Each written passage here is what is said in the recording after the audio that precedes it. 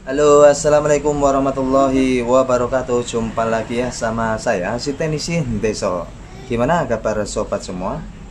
Baik-baik saja ya. Oke di tangan saya ini ada HP flagship ya. Mi 10T ya. Jadi ini milik Bang Ferdi Tanjung Karang. Jadi HP ini ceritanya dibawa ke service center namun di apa di tarif 5 juta setengah lalu mungkin beliau pernah lihat video saya tentang Mi 10T dulu si Kokoh ya kayaknya Kokoh juga itu punya HP ini di tarif juga service center segitu. Lalu dibawalah ke tempat saya ini dan ini kondisinya mati total. Jadi yang perlu teman-teman ketahui ya untuk di service center itu kan tidak melayani perbaikan. Rata-rata dia ganti mesin ya. Jadi kerusakan apa pun itu ya semua nominalnya 5 jutaan lebih. Kalau untuk di HP Mi 10T nah kira-kira ini apa rusaknya? Kita akan coba bahas bareng-bareng. Untuk keterangannya ini ada tulisan mainboard ya. Untuk keterangan ini mungkin tulisan dari sananya saya nggak tahu pasti ya. Yang jelas ini mainboard gitu. Dan keterangan dari pemilik juga mainboard gitu ya. Tapi saya belum bongkar. Ini baru saya pegang dan kita akan coba bongkar bareng-bareng. Mantap. Oke ini dia HP nya jadi ini HP kategori flagship ya untuk di Mi atau Xiaomi Mi 10T dan ini kita akan coba cek dulu ya. Kita akan coba cas bagaimana konsumsi arusnya.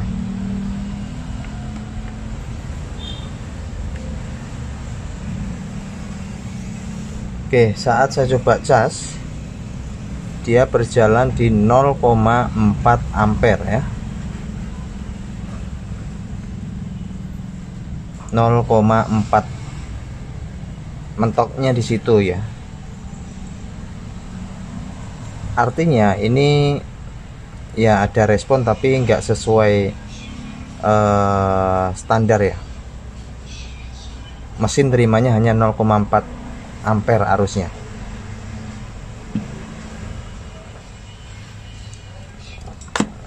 Biasanya kasus 0, 1 sampai 0,5 itu banyak faktor. Bisa itu CPU, RAM, bahkan bisa baterainya. Oke, kita akan langsung buka saja ya. Bagian SIM tray-nya. Oh, ini berada di bawah ya. Kita angkat dulu. Nah, berhubung HP ini bekas di servis di service center ya. Oh, gampang banget bukanya. Nih. Jadi memang sudah dibongkar ya. Oke kita akan langsung buka baut-bautnya ya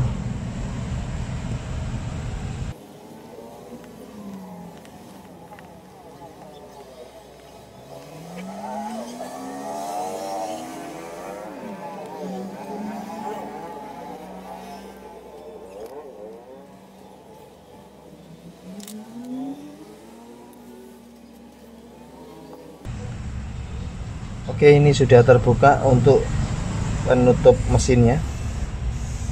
Kita coba cek baterainya dulu. Jadi HP rusak apa pun itu pertama kali cek baterai. Karena saat dicas tuh hanya 0,4 itu bisa jadi baterai yang rusak bisa jadi CPU RAM. Nah ini untuk memastikan ya kita akan cek minimal 3,7 itu baterai yang standar ya. Oh ini 3,6 ini bagus ya baterainya itu ada isinya. Buletannya 3,7 ini bagus ini baterainya. Tidak masalah. Berarti ini faktor terbesarnya rusak di mesin. Perkiraan saya mengarah ke bagian RAM CPU oke kita akan coba lihat ya ini kita copot. Jadi memang banyak penyakit itu ya di situ RAM CPU ya.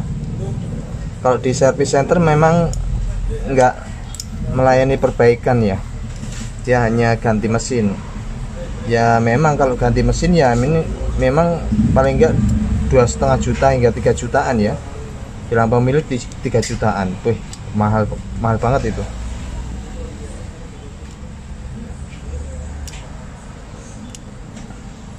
oke ini saya copot ya. Lalu kita akan buka ke bagian mesin.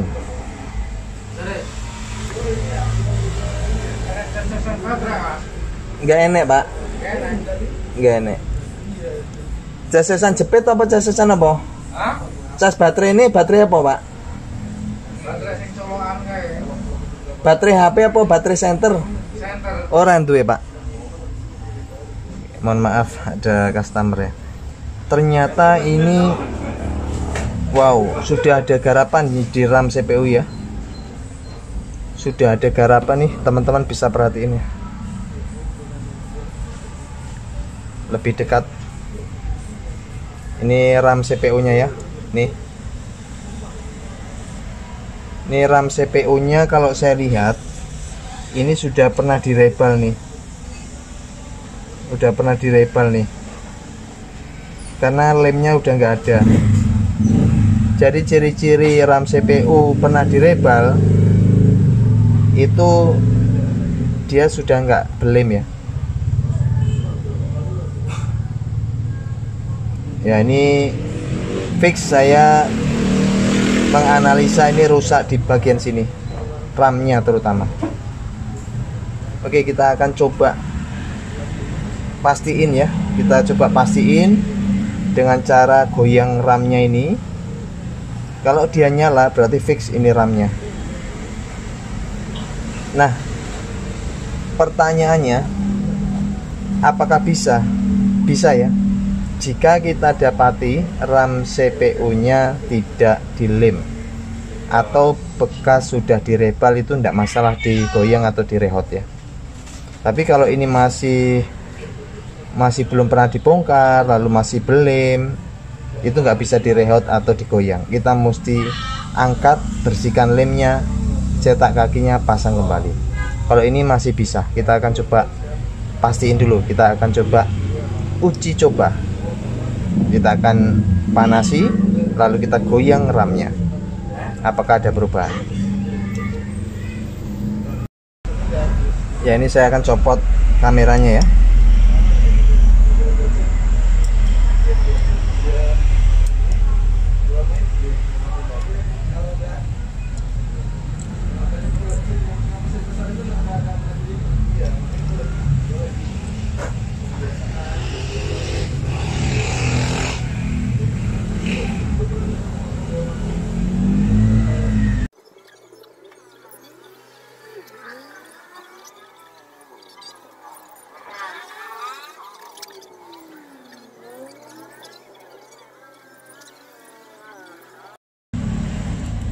Oke. Baju operasinya sudah kita pasang. Ya ini Buat tambal panci ya. Berfungsi buat pengaman aja. Oke kita akan senggol ini RAM-nya. Ah buat teman-teman kalau didapati ini belum pernah digarap RAM CPU Jangan disenggol ya Karena nggak mungkin bisa. Kondisinya terlem Kalau ini sudah bekas digarap Direbal. Jadi bisa kita senggol. Senggol dong. Iya. Oke ini kameranya saya amanin.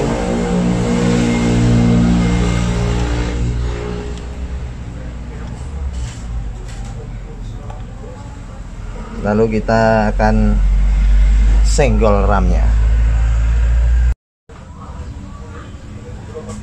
Oke, nyalain dulu blowernya.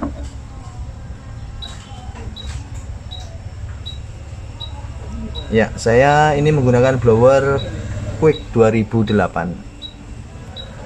Untuk panasnya biasa 3 75 sampai 400 ya ini 400 saja lalu anginnya 40 namun buat teman-teman harus sering pakai ya blowernya jadi supaya tahu selahnya itu panasnya di mana? Di ukuran berapa di setting berapa? Oke ini sudah ready kita tinggal tambahin fluk ya.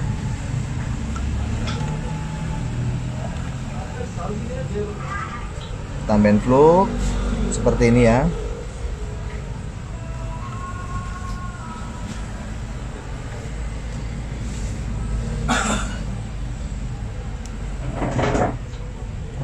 Oke, lalu kita eksekusi.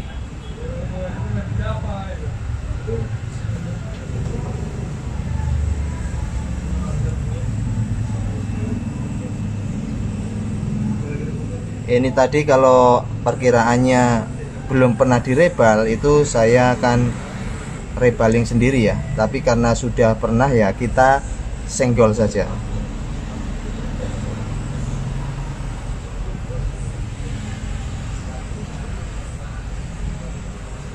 Jadi pastiin dia sudah panas lalu kita senggol goyang sedikit ya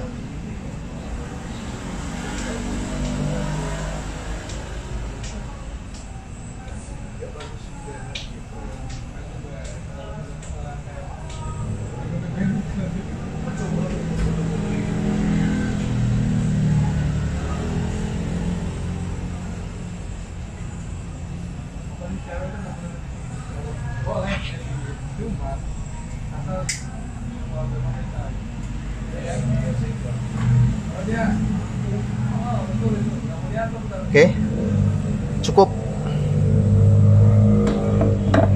cukup sudah, takkan untuk sekian kali. Nah ini tinggal tunggu dingin ya.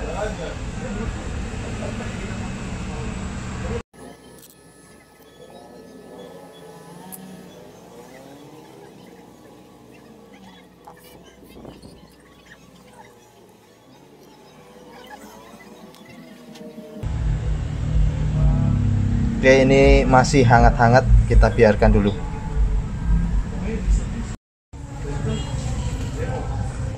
Oke setelah dirasa kayak dingin kita bersihkan.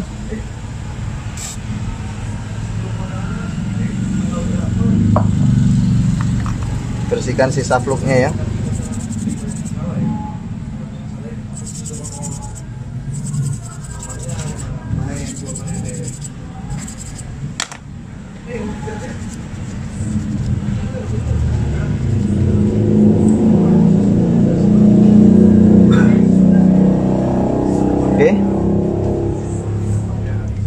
Lalu kita akan coba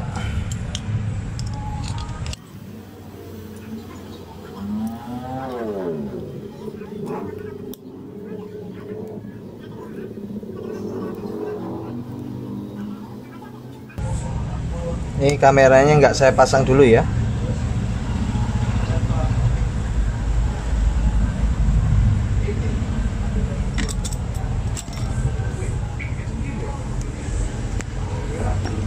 Oke, saya siapkan ini. Kalau di awal tadi kan hanya 0,4 ya. Apakah setelah kita senggol RAM-nya sudah ada perubahan atau bahkan bisa nyala? Kita coba. Bismillahirrahmanirrahim.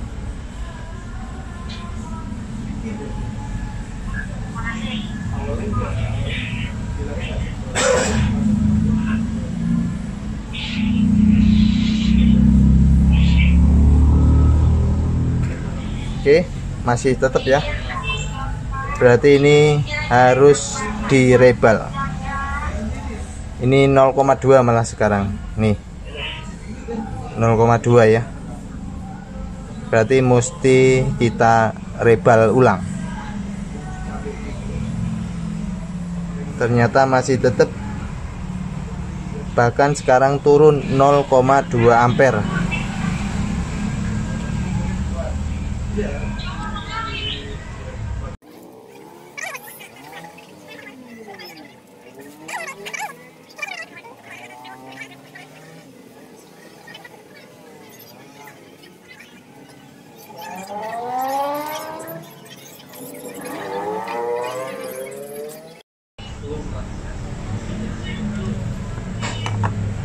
ya oke teman-teman ini sudah saya rebaling ya.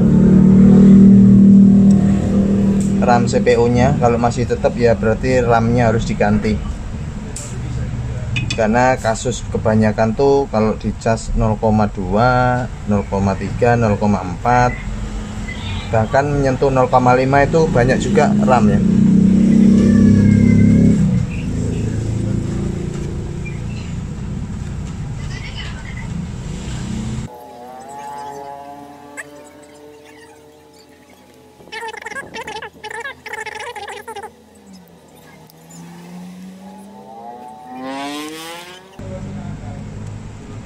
Oke kita akan coba. Bismillahirrahmanirrahim.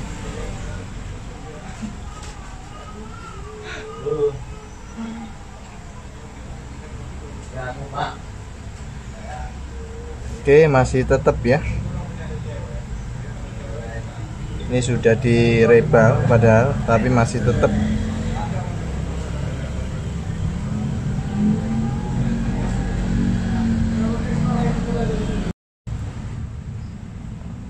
Oke lah teman-teman. Ini kayaknya HP mesti diganti ini RAM-nya. Karena kita sudah berusaha untuk senggol RAM-nya Untuk rival RAM-nya masih tetap ya. Tidak ada perubahan.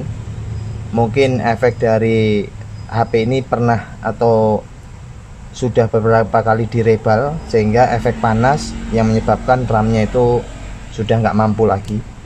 Jadi saya akan carikan namun kebetulan ini eh, hari Kamis tanggal merah jadi pada tutup. Insya Allah besok saya akan eh, cari yang tested ya untuk RAM ini. Nah untuk RAM ini sendiri lumayan mahal ya. Mungkin tidak jauh beda dengan yang di X3 Pro 450 ke atas ya. Apalagi untuk Mi 10T ini. Nah ini berhubung pemilik nih yang penting nyala berapapun biayanya yang penting nyala itu menambahkan semangat buat kita ya sebagai teknisi untuk berpacu dalam melodi. Kok berpacu dalam melodi? Ya yang penting sudah berusaha lah ya. Masalah ini belum berhasil ya. Kita mesti cari spare partnya dulu Oke. Mudah-mudahan bisa diambil hikmahnya ya. Mudah-mudahan besok bisa kelar. Dan terima kasih ya atas supportnya selama ini. Dan ya ini dari Bang Ferdi Tanjung Karang. Sementara saya akan OTW nyariin dulu spare partnya khususnya di IC RAM nya bye bye Assalamualaikum warahmatullahi wabarakatuh